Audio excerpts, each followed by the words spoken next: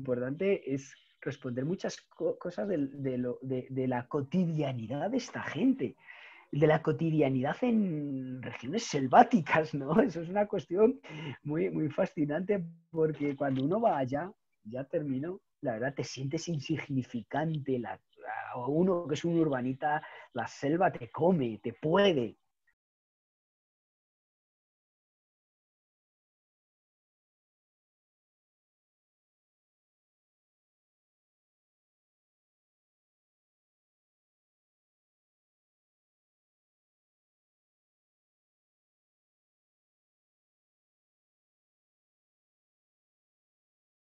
las disidencias tienen un poder aquí en esta zona.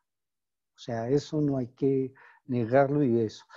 Eh, yo creo que un punto que hay que mirar es que las gentes que viven allí, que quienes controlan el, el territorio, es quienes van a dar el aval a continuar esta investigación.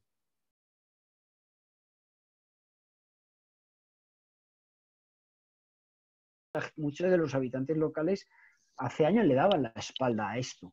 No les interesaba, entre otras cosas, pues una Gaspar lo ha dejado entrever, es una región dura, una región que fue en su día muy cocalera, eso, eso también es así. Entonces, esto les importaba un carajo.